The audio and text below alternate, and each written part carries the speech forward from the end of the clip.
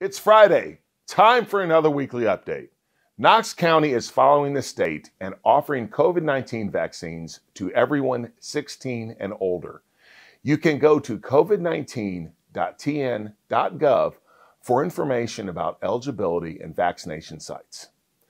Knox County Schools is seeking the public's help after receiving several complaints about a suspicious individual approaching students at some of our schools and bus stops.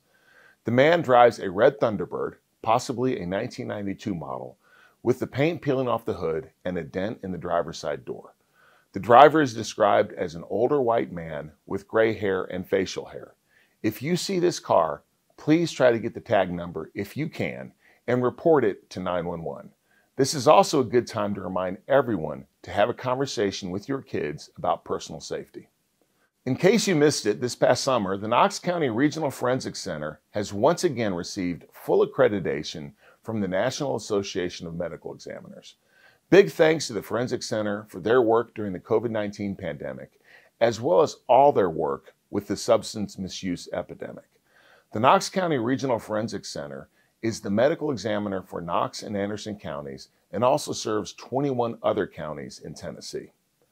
The Olympic torch relay began in Fukushima Thursday on its 121 day journey to Tokyo and the opening of the Olympic Games. Finally, Knoxville Catalyst Sports is hitting the trails this weekend for its first ever adaptive mountain biking event on Sharps Ridge. To learn more, go to their website, catalystsports.org. Until next Friday, I hope everyone has a great week.